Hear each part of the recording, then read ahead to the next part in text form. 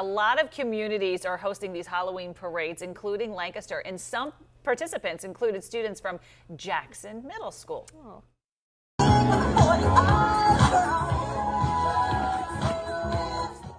It's the classic Halloween song students performed to Michael Jackson's Thriller. They learned the choreography quickly and worked on the costumes, hair, and makeup with the help of staff, parents, and students. A Southeast Community Organization member helped the students rehearse. They're looking good. Nice Mom. They look great. Yeah. Congratulations, guys. We can't outdo you. All right.